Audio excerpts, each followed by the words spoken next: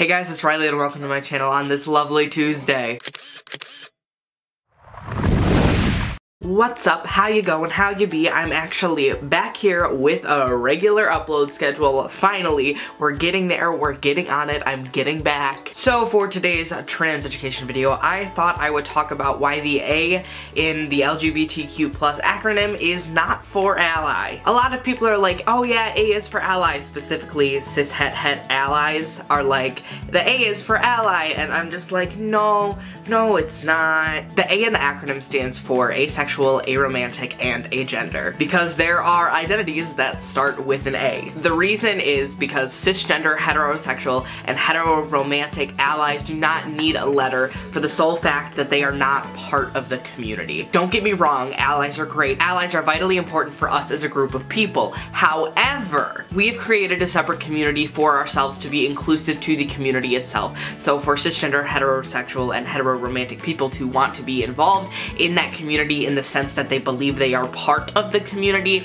even though they're not part of the community because we created a separate community for a reason, is really kind of erasing the ace, aro, and agender identities. We don't want to erase these identities because they're already erased pretty much by a lot of other queer people, by cishet people. Like, people don't recognize that asexuality, aromanticality, and agender people exist. And it's a little ridiculous that these people don't even have a spot within their own community because people who are outside of the community think that they belong in the community in the spot for the people that it was actually made for. Also, I'm sorry if it's really loud in the background. There are people out of my room doing things very loudly. As I was saying, allies are incredibly important. Don't get me wrong, we need allies to continue to being progressive and to continue being more accepted within today's society. But people who are cisgender, heterosexual, and heteroromantic are not part of our community. They can support our community, and just like I said, their voices are very important, but they do not get to have a voice